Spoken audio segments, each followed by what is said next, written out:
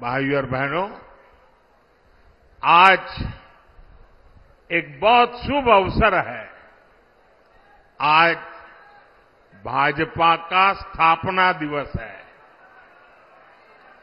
बहुत कम दशकों में ही भाजपा के साथ रिकॉर्ड संख्या में हमारे देशवासी जुड़े हैं। भाजपा ने लोगों का भरोसा जीता है। भाजपा ने लोगों का दिल जीता है। और इसका कारण क्या है?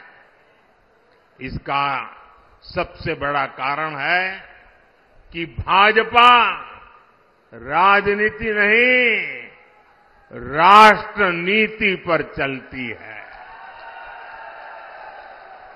भाजपा के लिए राष्ट्र प्रथम है। ये भाजपा का नारा नहीं, भाजपा का आर्टिकल ऑफ़ फेथ है।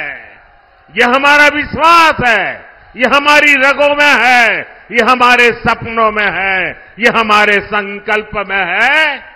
राष्ट्र प्रथम हमारे लिए देश से बड़ा और कुछ नहीं है।